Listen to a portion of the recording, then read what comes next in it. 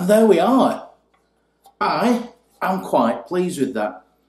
A little bit of paint bleeding, but the might be able to get it off with a craft knife or something. But hey, who's bothered? I am really happy with that, uh, and it's worth worth the effort. Now I've got to get the guitar all back together again. Note, I left the original Yamaha label on just so you can identify the make of the guitar. In the unlikely event I'm going to get rid of it. Hard part now is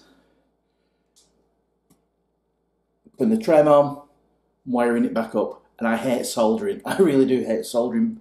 Uh, not quite ready yet. I'm, I'm just going to give it a little bit of a wet, wet and dry polish, then lacquer it. So lacquering it is the next job. Oh, missed a bit there, missed a bit there. Ooh, I've got to say how therapeutic that was. I really, really, really, it does quite a, a really nice, chilled out, 10 minutes or so. There it is.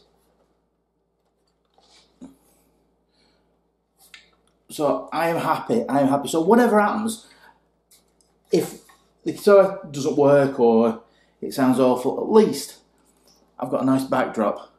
So I'm actually going to put that uh, behind me, some works teams calls, show it off a little bit at this stage of the project. As I say, just a little bit of indentation there, but can you notice it from afar? Not really. So happy, happy, happy. Uh, one thing about this is I've never done anything I've never sprayed or painted or done anything to guitars before. Just a bit more. Look, I could do that all day. Just peel bits of masking tape off. Uh, I went into this as I think you've seen in the other videos with a bit of trepidation. It wasn't too bad, just patience, patience, patience, patience, and you know, letting paint dry and yeah. Right. Thanks for watching everybody let's get it shiny.